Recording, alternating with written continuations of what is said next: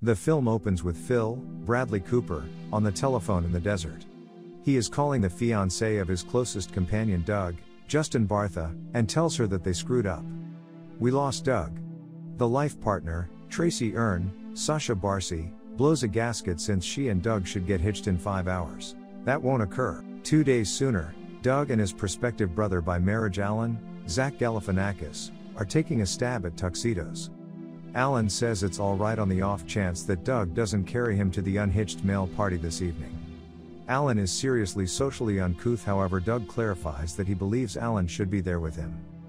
Doug goes to converse with his future father by marriage, Sid Earn, Jeffrey Tambor, and is allowed to take his Mercedes to Vegas for the unhitched male party since Sid recollects what being a young fellow was like.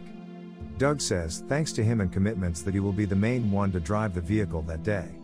Doug and Alan then, at that point, pass on to get the others. Doug's dearest companion Phil is a secondary teacher helping one to remember his classes to pay 90 bucks for a field excursion to an observatory, which they all immediately pay.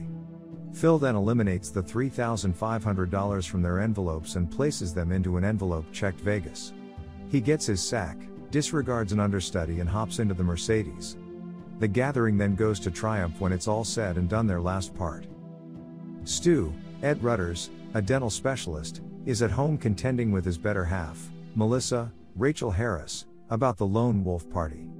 Stu tells her that they are going to Napa Valley for a wine sampling. Melissa is persuaded, nonetheless, that Phil will figure out how to find a strip club. The folks show up and Stu leaves with them. The gathering drives to Las Vegas and look into Caesar's royal residence. They attempt to choose how to pay and Phil volunteers Stu's MasterCard as the primary installment technique. Stu straight rejects, telling Phil that Melissa would see the charges and understand that they went to Vegas. Doug lets Stu know that they'll figure out the installment when they look at. They go higher up to prepare for their first evening out on the town.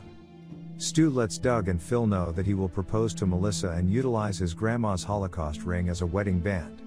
While Doug salutes Stu, Phil transparently brings up that Melissa is a controlling bitch. Stu and Phil get into a contention, and Phil tells Stu that Melissa is obviously not a decent individual since she undermined Stu when she laid down with a barkeep on a voyage. By then, Alan comes in with a travel bag and inquires as to whether they're prepared to let the canines out. The four go to the rooftop and give an impromptu speech. Alan gets everybody a fix of Jägermeister and afterward peruses an off kilter discourse to the gathering, letting them know how them four resemble a bunch of wolves. Phil then, at that point, lets the others know that he's toasting them to a night they will always remember. Time elapses as we see the night horizon of Las Vegas change gradually into the following morning. A lady leaves the room conveying her stiletto heels. Stu comes to on the floor with blood on his shirt. Phil is resting on the floor and Alan awakens on the sofa. The room is a finished wreck.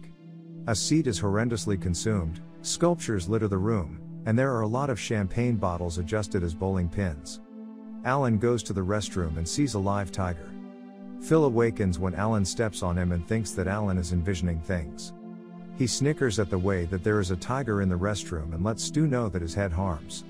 Stu understands that he's feeling the loss of a tooth and Phil can't resist the urge to chuckle. He stops once they understand Doug is mysteriously absent. They likewise note that Doug's sleeping cushion is absent. During their hunt, they hear a child crying in the storeroom. They don't have the foggiest idea about whose child it is, however, choose to take it with them to breakfast. At breakfast, Alan makes the child imagine jerk off for the folks and affectionately names him Carlos. Phil, Stu, and Alan understand that they can't recall that anything from the prior night. They check their pockets for signs to what happened the previous evening.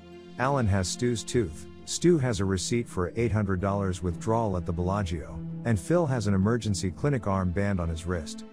They choose to make the emergency clinic their most memorable stop. Outside the inn, the triplet trusts that the valet will bring around their vehicle. They notice a cleaning group eliminating a sleeping cushion pierced on Caesar's sculpture on an upper level of the inn. Phil noticed that they probably had a wild evening. The valet drives up, not in the Mercedes, but rather in a squad car and gives Phil the keys. They drive off and go to the emergency clinic to get a lead on where Doug is. The emergency room specialist lets them know that Phil was conceited with a gentle blackout and that Doug was with them when they visited. Phil payoffs him for additional data, and the specialist lets him know that they had quite recently come from a wedding at a sanctuary a couple of blocks away. The specialist likewise lets Phil know that he had high hints of rufilin, alluding to the date assault drug known as roofies, in his framework. Phil goes ballistic at the chance of having been assaulted, however, the specialist lets him know he wasn't. The threesome chooses to head there. At the point when they show up at the house of prayer, they are welcomed like family by the owner, Vortex. They can't recollect why, however, before long figured out that Stu wedded a lady named Jade him, the prior night and that everybody was available for the wedding. Stu goes crazy a tad, Phil investigates an invalidation and Swirl gives them Jade's location. The triplet head to the vehicle and as they pull out, they are defied by a couple of Asian criminals requesting that the threesome return somebody they hijacked. The criminals take out weapons and undermine the triplet before unintentionally shooting Vortex in the shoulder. Phil drives the vehicle out of the part. They get to Jade's and find her on the telephone blowing a gasket since she was unable to find her child. She sees Stu and is glad to see him, however, he cracks when he figures out that she's a stripper who functions as an escort and he gave her his grandma's Holocaust ring. The gathering is intruded on by the appearance of two cops who capture the triplet for taking their vehicle. At the police headquarters, Phil chooses to call Tracy and tells her that they are appreciating Vegas such a lot of they are remaining an additional day. He doesn't tell her that they lost Doug and is compelled to hang up when they are taken to the cross examination room. The two officials are irate that the triplet took their vehicle and need to hold them over to be summoned the next Monday. Phil clears up the circumstance and afterward endeavors for extort them into an arrangement for forgetting about their crew vehicle, which misfires. The officials consent to let the folks free yet stunt each of the three into being guinea pigs for a gathering of children, showing the impacts of a taser. The folks concur and climb at the impacts of being stunned by both the police and several the children, one of not entirely settled to seek retribution on Alan when Alan kicked him delicately in the crew room.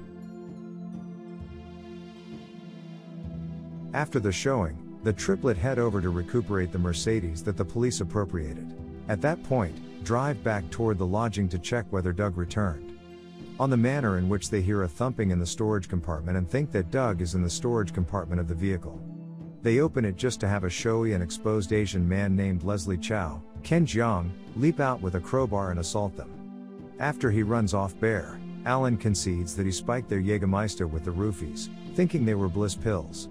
Stu goes crazy, yet Phil relaxes and the triplet gets back to the lodging. They are going to go into the lodging when they recall the tiger. They circumspectly make the way for track down Mike Tyson and his guardian in the room. Tyson is singing in the air this evening by Phil Collins, getting the folks to participate prior to taking Alan unconscious. It turns out the tiger had a place with Tyson and the explanation they had the option to find the lodging was on the grounds that they found Doug's coat and room key in the tiger confine. The triplet are panicked on the grounds that Tyson suggests that the tiger might have eaten Doug. Tyson allows them an hour to take the tiger back to his home. Alan places five roofies into a crude stake to take out the tiger, and after two hours they truck the tiger into the Mercedes. While heading to Tyson's manor, the tiger awakens and scratches Phil's neck. The triplet escapes the vehicle and pushes it the last mile of the way while the tiger bites up the inside of the vehicle. After showing up at the chateau, Tyson shows them a security tape of them taking the tiger and Alan peeing into Tyson's cave lake. Doug was with them and they put it into a squad car yet not before Phil shouted, Look, I'm assaulting Tyson's tiger and emulating engaging in sexual relations with the creature.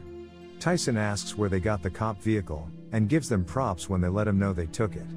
With no further leads, the gathering makes a beeline for the lodging. While heading to the inn, Chow and his men crash their vehicle into the Mercedes and drive it into a post. If you like this video, let us know in the comments, and don't forget to give it a like. See you in the next video.